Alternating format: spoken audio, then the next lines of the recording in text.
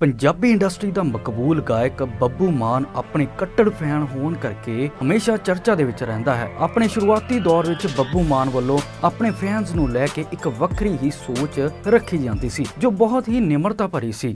ਮੈਂ ਅਕਸਰ ਕਈ ਵਾਰੀ ਕਹਿਣਾ ਹੁੰਦਾ, ਮੈਂ ਸਟੇਜ ਤੇ ਪਰਫਾਰਮ ਕਰਨ ਤੋਂ ਬਾਅਦ ਉਤਰਦਾ ਮੈਂ ਬਾਹਰ ਬੈਠਦਾ ਕਿ ਯਾਰ ਕਿੰਨੇ ਚੰਗੇ ਲੋਕ ਹੈ ਇੱਕ ਤਾਂ ਪੈਸੇ ਦਿੰਦੇ ਆ, ਇੱਕ ਤੁਹਾਡੇ ਲਈ ਟਾਈਮ ਕੱਢ ਕੇ ਤੁਹਾਨੂੰ ਸੁਣਦੇ ਆ, ਫਿਰ ਤੁਹਾਡੇ ਨਾਲ ਫੋਟੋਆਂ ਖਿਚਾਉਣ ਲਈ ਤੁਹਾਨੂੰ ਆਵਾਜ਼ ਮਾਰਦੇ ਆ।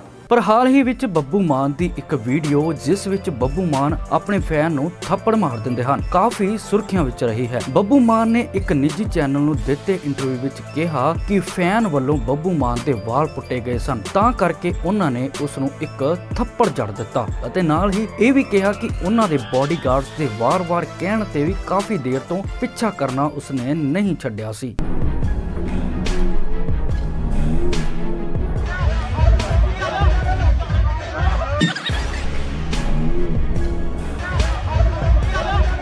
ਪਰ ਉਹਨਾਂ ਦੀ ਆਪਣੀ ਸੋਚ ਹੈ ਕਿ ਹਰ ਇੱਕ ਫੈਨ ਨੂੰ ਇੱਕ ਕਲਾਕਾਰ ਨੂੰ ਸਮਾਂ ਦੇਣਾ ਚਾਹੀਦਾ ਹੈ। ਚਾਹੇ ਕਲਾਕਾਰ ਕਿੰਨਾ ਹੀ ਮਕਬੂਲ ਕਿਉਂ ਨਾ ਹੋ ਜਾਵੇ।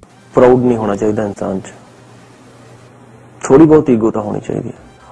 ਪਰ ਇਹਦਾ ਮਤਲਬ ਇਹ ਨਹੀਂ ਕਿ ਮੈਂ ਹਰ ਵੇਲੇ ਵਾਇਲੈਂਟ ਆ ਜਾਂ ਮੇਰੀ ਸੋਚ ਹਰ ਵੇਲੇ ਅੜਬ ਹੈ। ਜਦੋਂ ਮੈਂ ਸਟੇਜ ਤੇ ਜਾਣਾ ਤਾਂ ਜਾਂ ਮੈਂ ਲੋਕਾਂ ਜਾਣਾ ਤਾਂ ਮੈਨੂੰ ਨਹੀਂ ਲੱਗਦਾ ਕਿ ਮੈਨੂੰ ਕੋਈ ਬੰਦਾ ਕਿਸੇ ਨੇ ਇਹ ਵੀ ਸ਼ਿਕਵਾ ਕਰਿਆ ਹੋਵੇ ਕਿ ਯਾਰ ਤੂੰ ਗੱਲ ਹੀ ਨਹੀਂ ਕਰਦਾ।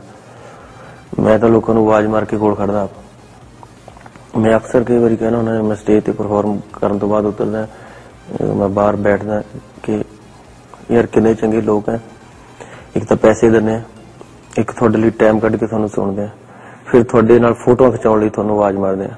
ਉਦੋਂ ਮੈਨੂੰ ਦੁੱਖ ਹੁੰਦਾ, ਮੈਂ ਇਹ ਕਹਿਣਾ ਹੁੰਦਾ ਕਿ ਯਾਰ ਤੁਸੀਂ ਮੈਨੂੰ ਆਵਾਜ਼ ਨਾ ਮਾਰੋ, ਮੈਂ ਤੁਹਾਨੂੰ ਆਵਾਜ਼ ਮਾਰਾਂ ਕਿ ਮੇਰੇ ਨਾਲ ਫੋਟੋ ਖਿਚਾਓ, ਕਿਉਂਕਿ ਤੁਹਾਡਾ ਕਰਮ ਹੈ ਮੇਰੇ ਤੇ। ਇਹ ਦਰਿਆ ਦੀ ਲਈ ਹੈ ਪੰਜਾਬੀਆਂ ਦੀ ਕਿ ਇੰਨਾ ਮਾਣ ਕਲਾਕਾਰ ਨੂੰ ਬਖਸ਼ਿਆ।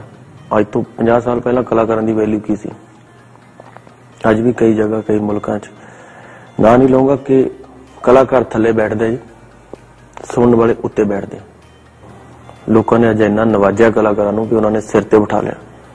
ਤੇ ਸਾਡੀ ਖੁਸ਼ਕਿਸਮਤੀ ਹੈ। ਉੱਥੇ ਜਾ ਕੇ ਮੈਨੂੰ ਲੱਗਦਾ ਕਿ ਹਰ ਬੰਦੇ 'ਚ ਨਿਮਰਤਾ ਆ ਜਾਂਦੀ ਹੈ। ਪਰ ਜਿਹੜੀ ਇੱਕ ਨਜਾਇਜ਼ ਨਿਮਰਤਾ ਹੁੰਦੀ ਹੈ ਖੈਰ ਬੱਬੂ ਮਾਨ ਦੀ ਸੋਚ ਆਪਣੇ ਫੈਨਸ ਪ੍ਰਤੀ ਸੱਚਮੁੱਚ ਹੀ ਬਦਲ ਗਈ ਹੈ। ਜੇਕਰ ਬਦਲ ਗਈ ਹੈ ਤਾਂ ਬੱਬੂ ਮਾਨ ਦੀ ਆਪਣੇ ਚਹੇਤਿਆਂ ਪ੍ਰਤੀ ਇਸ ਤਰ੍ਹਾਂ ਦੇ ਰਵੱਈਏ ਨੂੰ ਲੈ ਕੇ ਤੁਹਾਡਾ ਕੀ ਕਹਿਣਾ ਹੈ? ਸਾਨੂੰ ਕਮੈਂਟ ਕਰਕੇ ਜਰੂਰ ਦੱਸਣਾ। ਬਿਊਰੋ ਰਿਪੋਰਟ, ਚੜ੍ਹਦੀ ਕਲਾ ਟਾਈਮ ਟੀਵੀ